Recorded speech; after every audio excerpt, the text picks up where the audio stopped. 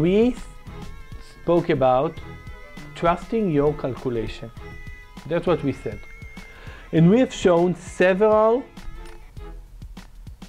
positions, games, actually two games in particular that the kings, we shown one game of none, that the king marched all the way to f5, all here, and then white won the game quite quickly. And we've shown another game between really two of the best players in the world, Gashimov against Grischuk, that black's king made it all the way something like this and he won the game. You know this game, Julian? It's very. You know what? I. It, you see? But if you weren't here last week and didn't see it, thanks to our important part of our production band, you can see it on our channel. As many as many others of my funny shows and other Grandmaster educational shows. Right? You know, we, we are a team. You know, Leaser and Var and others do serious chess, and we, the entertainment part. But I said that we will continue tiny bit with this idea. And I was thinking today, well, I had some other games that I was thinking maybe of showing, but then I was thinking, you know, there's probably one of the best games ever in history, although it has one flaw. Kasparov said that it's probably his best game, and considering that he's maybe the best player, maybe it's a lot. His game against Topalov. Do you know this game, Julian? Okay, this one you know. And the other one you have to go to our YouTube channel and watch it. But it's cool. Okay, so this is between Kasparov and Topalov. The funny part, the interesting part is that Topalov himself is really fearless as well. Like many of his games are as wild as possible. He really trusts whatever he feels about the position. Sometimes he's actually gambling too much, but that's how, what I wanted to show you last week and today. Whatever dangerous the position is, if you believe in that, well, you should go with it. So this was played uh, about, well, 14, 15 years ago almost. You know, actually in next month we're going to, Wijk aan Zee is going to start another tournament. This is in Wijk aan Zee to 1999. Okay, playing the Pirc. No, no big, not really important to Mm, see the opening, although Isabel is moving the pieces on the board and we will move it slow for her so she can get the position. Okay, Queen D2. basically white is going more or less to well you were here last week right? When we spoke about the king marching. No? Really it's like amazing. Okay we are having here a structure that opposition that's very quickly going to be like the English attack white is going to play f3 long castle g4 similar ideas in the Sicilian that's when bishop e3 is being played Okay, c6, f3, okay, Kasparov also understands that. b5, knight g2. Okay, well, there are many possibilities here, like g4, cast, whatever. Knight g2, knight bd7. Black is tiny bit delaying castle. Why delays castle? Because it gives him possibility in some situations to castle the other way. If he will castle here, bishop h6, h4, well, of course it's a main pos major possibility, but bishop h6, take, take, bishop b7, a3. Okay, very soon we will get to our important position. E5. Okay, quite logical. By the way, why a3 was played? Well, to prevent black from expanding on the queen side. Long castle, queen e7 which move is quite normal in those in such positions for white yeah I mean you castled long well how to continue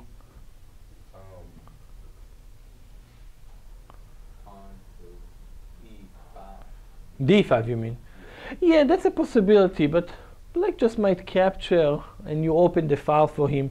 Or maybe black will play a6. It's a possibility, but, well, many times just moving the king to a safety. You know, moving the king away from to defend the pawns if something happens, moving it away from a c file that sometimes gets to open. Okay, king b1 is kind of almost safe automatic move. A6. I wonder if in this position a5 actually would be a move that I think deserves serious attention. Like I'm not certain why why a5 wasn't played. Huh. Hmm. Houdini's first choice a5. I just I just checked. Okay. No, it's just logical because I, I was just thinking during the, if he played a3 to stop before, okay, so I'll play a5 to play before. Okay. Well, available for classes at the St. Louis Chess Club. All right, a6.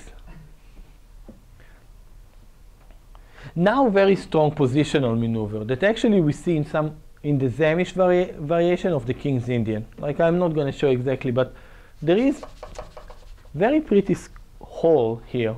One day, if we can get our knight, that's that's a really decent square. Knight to c1. The, in the Sämisch there are some ideas like that. Castle, knight b3, capture, capture. Okay, we are just getting to that the interesting position. c5 and back. So it's really interesting, this position. On one hand, okay, so what we have here, it's kind of bizarre to see black's king where his pawns are so much advanced, right? It means that his king is somewhat weak. On the other hand, he has quite nice development and all the pieces are well, all the pieces are out, and he also controls some space. It's like if white rook would have been here, no, okay, it would be nicer to say, hey, white has all these pieces in nice squares, but it doesn't. Knight b6, well, black wants to play d5, g3, interesting idea. The bishop going to h3, king moving, same, same way that white play king b1. Those are very safe, solid, simple moves. Knight to a5. Bishop back to a8. Bishop out. d5. Okay, quite a lot is happening already. Many pawns in the center, but I'm kind of moving quickly because the action is just going to start. One of the greatest games ever. Check. And rook e1.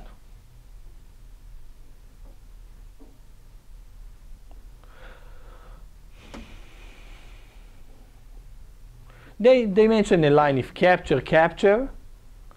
And white might use this outpost for his, for his knight to jump. Black king is a bit vulnerable. For example, and if take, and black is lost.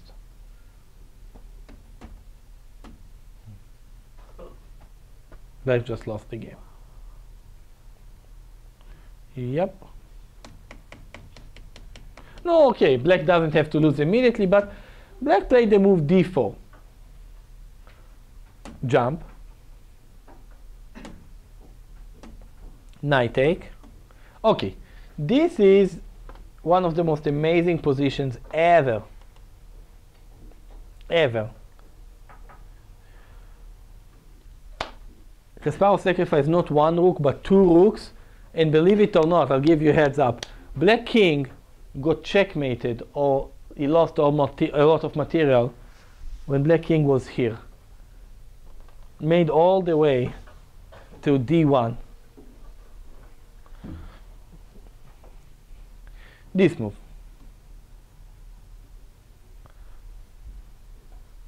We will start seeing the ideas. It's beyond incredible what is happening here. The dark spot about this game is that this combination is not perfect. It's not perfect. Actually, black has a refutation, and those are okay. Those are two of the best players in the world. They didn't play that. I wonder what Kasparov, by the way, would have played after. We will see taking the rook. Of course, it's our most critical line, right? We just had our previous lecture about material captures, forcing moves, all those things. So of course, this will be the main thing. But actually, the correct move for black would have been to play this insane, unbelievable move, king b6. Attacking the knight and getting the king out of danger in some lines. For example, if the queen goes here, you don't want to take the rook. Taking the rook, going to take the knight, and if this going to take this knight, and if this to take this one, and if king take white's knight, it will transpose to similar versions of the game. But let me just go back. If just take is a very powerful move. And crazy position, under attack, bizarre spot, where is the king? But computers say that black is actually better in this position. And some other lines that are in this position are playing this incredible move b4. Once again, it is impossible to take the rook. Take, take, only move, check, and winning. Impossible to take the impossible to take the rook. But but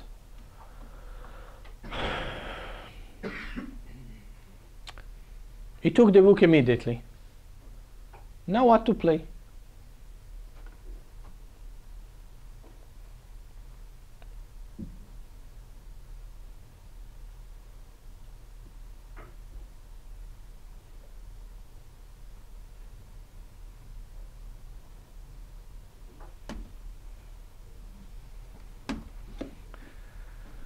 Second rook is being sacrificed, but cannot be taken if take okay this is your part to tell me what what white is playing here. Let's follow the forcing moves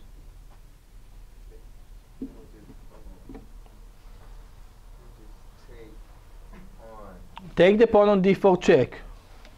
Okay king has to go here. Only move. Bless you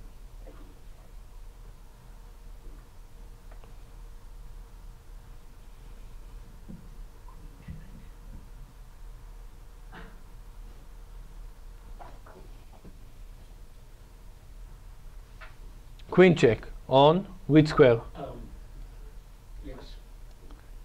On block. And now? And then you check with, and then the knight to uh, c6. And actually checkmate on the next move. Forget about the queen. King a8, queen a7. For, forget the queen. And if this move, Take the knight. forget the queen. Checkmate.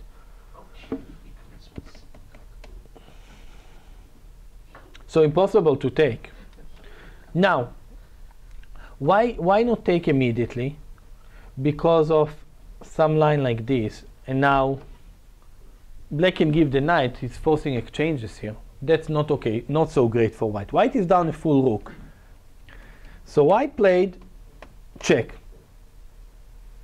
The knight cannot block because the queen is under attack, right? You cannot interpose over there. Okay, king b6. Take? Hmm. Yeah, queen blocking, just not working. I mean, they have some complicated lines, but even material-wise, white already got enough here. He has a piece and two pawns. But we are going to see the adventure. Okay. Now think about it. This is not some you know, I don't know, uh, Bug House game starring Julian and several of the other heroes up there, right? Although it might look like it. But look, this Topalov became world champion in 2005, winning big was the highest rated player in the world for a few years. So no joke, those are really, really the best players, best players out there. And Kasparov, well, Kasparov, you don't see the king on, you don't see the king on a4 that many times. Okay, queen c3. Now, they have some analysis saying that mm, there's some ideas about the rook a7 might have been a better move.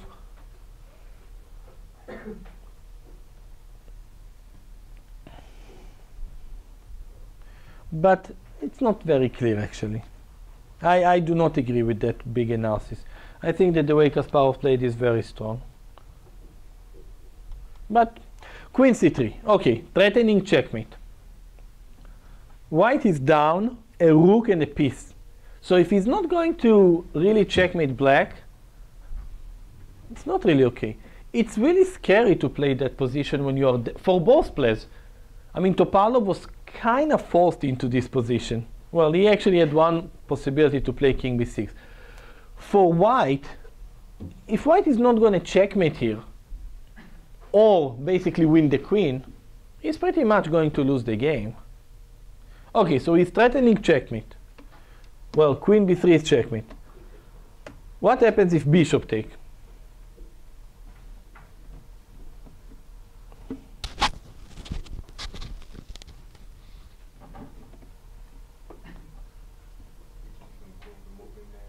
I'm sorry? But, well, yeah, he's preventing this move.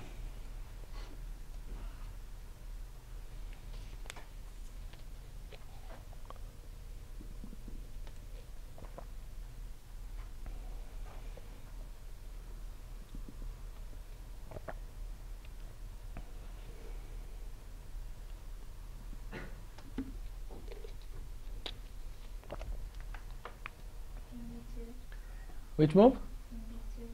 King b2. And what's your idea with king b2?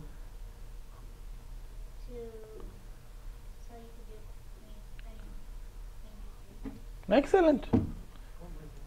Oh my gosh, yes, amazing. And doesn't matter what black plays. Look, look at this position. Isn't this one from fairy tales? Look at that. I mean, this is unbelievable. Unbelievable.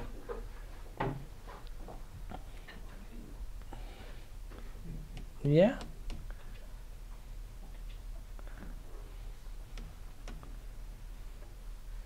Okay, so queen take. What's the difference? If king to b2, then exchanging queens, and that's not really nice, right? Def exchanging is the best method of defense. You just you just get rid of the attacking pieces. All right.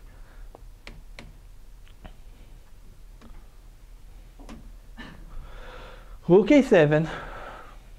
Okay, threatening a checkmate. Bishop b7. Why not? Why not rook d6? Okay, why to defend with the bishop?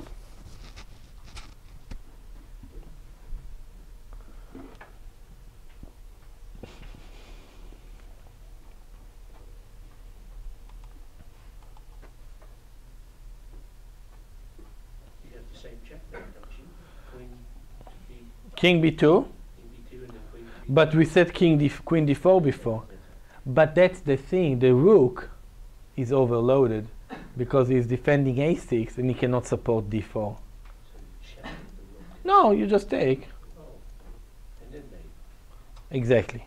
So that's why the rook, basically, basically the rook is already occupied by defending the queen on d4 against king b2. So bishop b7.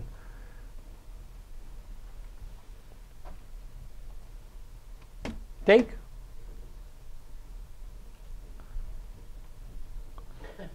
Now, there are many, many possibilities in this position. Many possibilities. Of course, to take the rook is checkmate immediately. So which moves would make sense if you are black in this position? Which move makes sense here to play? After that, Rook B8. rook b8. Okay, but what is white's threat? Think about that. Rook b8. And if I will play this with this idea, not now. So the rook cannot really move anywhere. So how, how you defend such position? How to defend in general? One, you exchange the opponent attacking pieces. Two, you bring defenders, right? You bring defenders. So let's say we want to bring this one. In the game Topalov played queen c4, we will see in a second.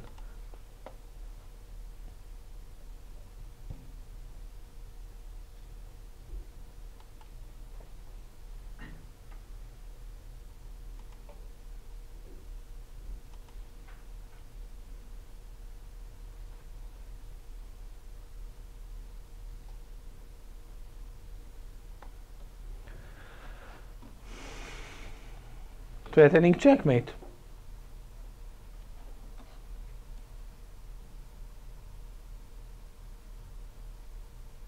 This move.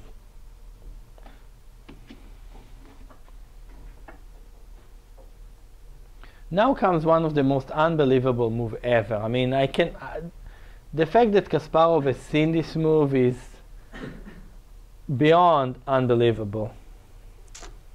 Look, this is an idea to, to drive the queen away, but queen c4 is possible. This move is, is really inhumane. I mean, I, I, I think that he saw it at, at least at some point, but I really think it's quite unbelievable. Basically, now he wants to be able to play this move and drive black's queen away. I mean, just that move, rook d6, and drive the queen away. And the game is completely, completely over in this position. Because, by the way, this move immediately, yeah,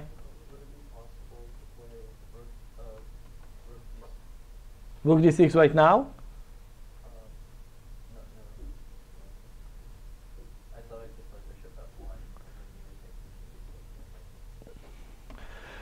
So this is incredible. Just the idea of rook d6, unbelievable. I mean, queen c4, take. Okay, still threatening checkmate.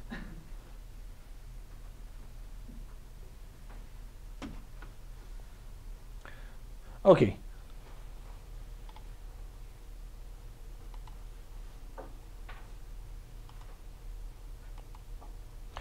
The best line, you know, I, I, I always say that there is no checkmate in chess. Right? I mean, I've said it in many lectures here. And this. What, what, what do I mean by that?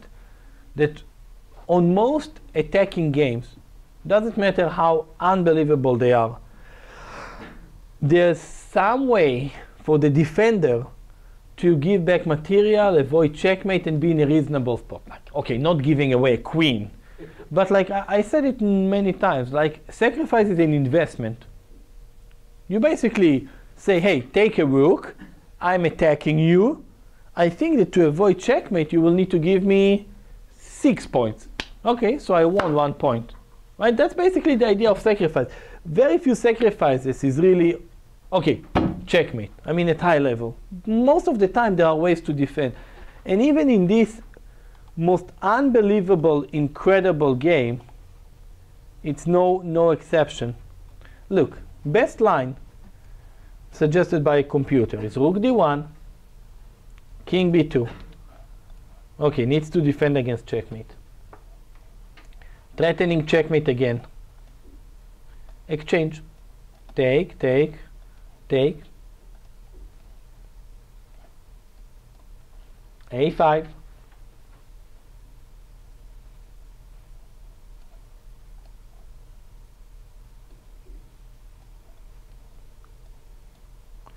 At the end of all this incredible line, if the king goes back, just thing gonna take, and if take, white's gonna have three three connected pass pawns and a bishop for a rook, right? So at the end of this incredible line, white is getting into a rook endgame with a pawn up and probably winning. Look at black's king and the pawns over there. So the end of this incredible checkmate idea and sacrifice and brilliant and everything, whatever you want to name it, the end of this, if black defend perfectly, white is a pawn up, he's still going to win the game. Yeah, with perfect with perfect, and, and this is really important to understand. Many people are sacrifice checkmate. Very, very rarely. We have seen in the World Championship, okay, there was no sacrifices, how Carlsen defended that game nine and didn't get checkmated. Like, but there was no even no sacrifice. But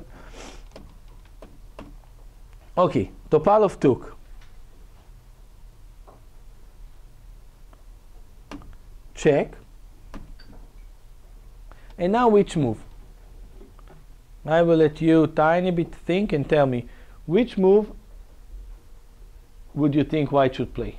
So Kasparov played this incredible move c3. And he really, really had to see that because if he doesn't, long, many moves ago, because if he doesn't have those possibilities, if those possibilities do not exist, he's really in trouble. Actually, we will get to a position that is beyond incredible, one move. So now let's see.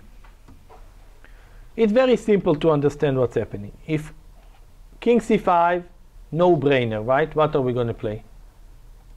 Just win the queen. I, I, I don't need to look for checkmate. You know, our brain stops here. Winning the queen stops. There is better, great. If this move, there are several ways to play here. What's, what would you suggest? I will let you suggest a good continuation here for white. There are several ways to win, but I just need one. Rook takes pawn. Rook takes pawn, take.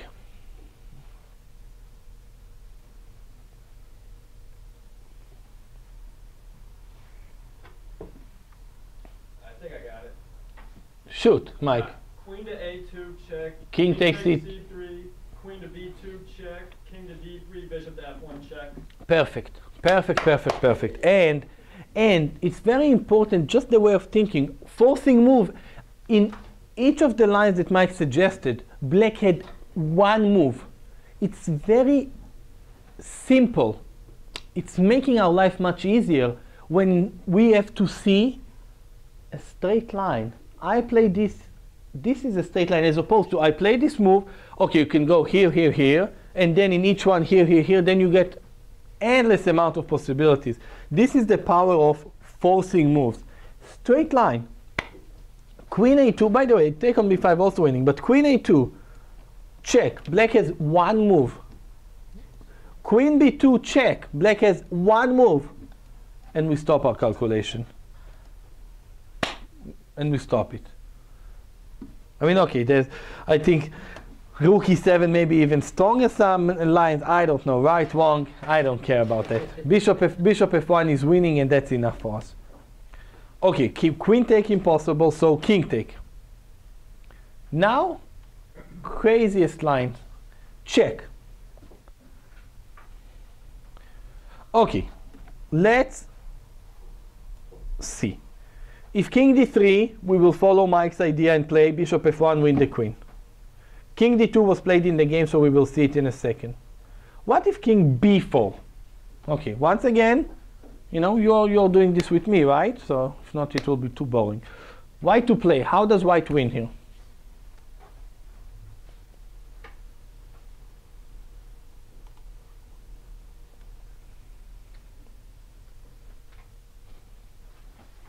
Checks with the queen on, Check with the queen on. on B2. But and then okay, let's say black black plays king here. Plays behind. Which move? Checkmate. But how? Rook, rook to A7. Ooh. Slowly.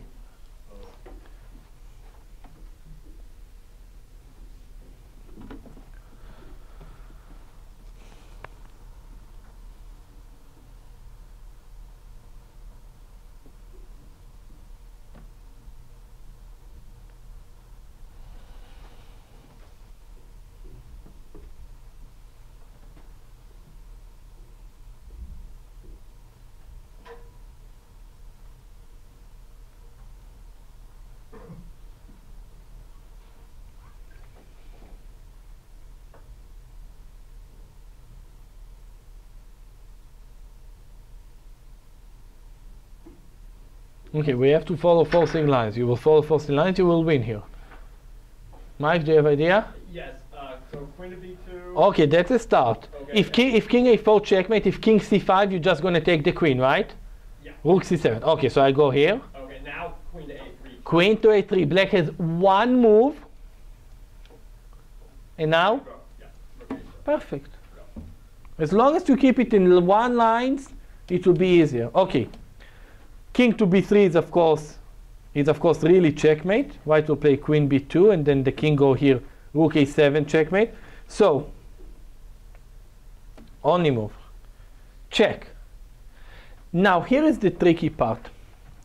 If black king is gonna step to e3 or e1, what is white gonna play?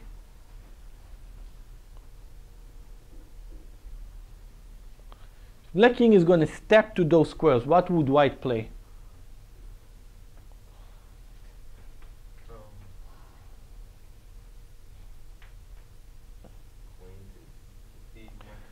Mm, you don't want to exchange. Yeah, it will just remember if we said how, how to defend, we want to bring more, more, more defenders. If white connects the rook with the attack, it's over. I mean, if king take f3, queen g2 is actually a cool checkmate.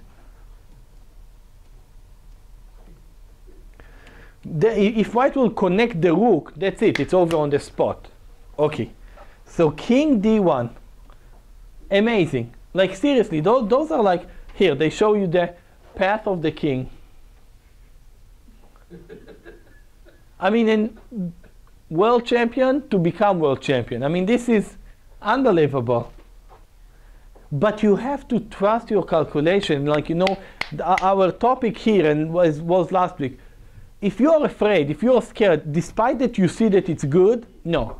You have to play it. You know you have to play it. Maximum you have you calculated wrong you learn to calculate better. Saying i'm scared is not anything in those two people repertoire two players. But here came unbelievable move. I remember i analyzed it quite deeply and looking at that and the thing is that we are thinking in this position. Kasparov had to see this many moves before, many, many moves before. You don't give a rook, a rook and a bishop for your mood or feeling. So which move here?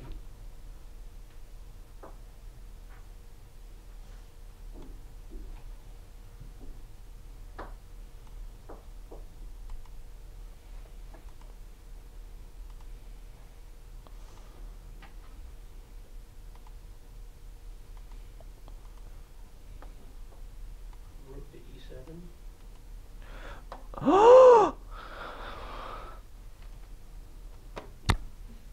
You don't have the luxury of playing such a move. No? No? no? I mean, okay, you're going to be checkmated immediately, let's say. If you will play rook e7, I will play check. What will you play? You're going to move your king here? Okay, let, let me move my the rook. Well, I mean, white king is not like in safe haven. I mean, look at white king. And it's not like there are thousand pieces on the board here. I mean, black wants to win in one move. That's the thing, that white has one move here. One move not to resign, but that's the move that's winning. If this move wouldn't exist, this would be a horrible game. But it's one of the greatest game ever. Mike, do you have an idea? You're looking at something. Uh, not, not yet. I Okay. see one way to prevent queen to d. And which one is that? Well, I guess uh, bishop back to uh, f1 or f5. Bishop back to f1. Let, let's say bishop f4. F, if f5 take, if bishop Right. f1, at least you make. Right, at least I can check now. What, what happens if the queen goes? Take. Where are you going to check? Here? You play bishop f1. Uh, I, I probably want to get the queen, so. I would put F. I mean C one. c1, king e2. Oh, but I, I want to keep him off of e2, so. Uh huh, uh huh. So yeah, I guess, I guess yeah, queen to c2. Queen to c2, then the king will go to e e1. The rook to e7 check. And this move is unbelievable. Not to see it here. Like Mike said it very simply. There is only one way, pretty much, to get away, to get black not to play queen d3. without this move, white is lost. Lost. But after this move, white is just winning. This is just checkmate. It's just a little too early. This, this is just checkmate. Just checkmate, no joke. This is just checkmate, no joke. Mm-hmm.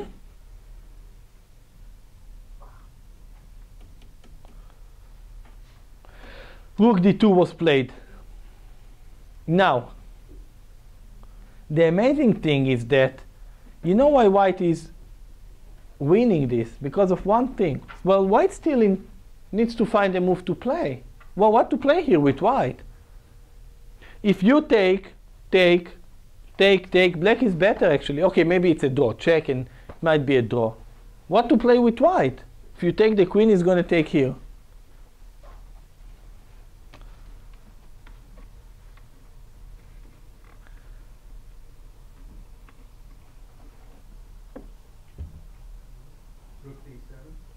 Very good.